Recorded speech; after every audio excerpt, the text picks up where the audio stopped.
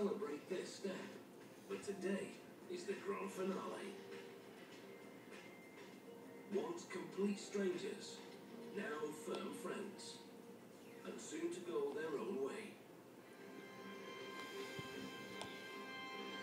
The end of their long journey lies behind this bulkhead door.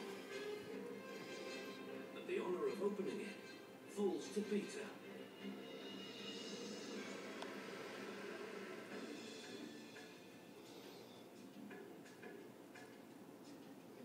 Back at the bridge, the final section is lifted into place.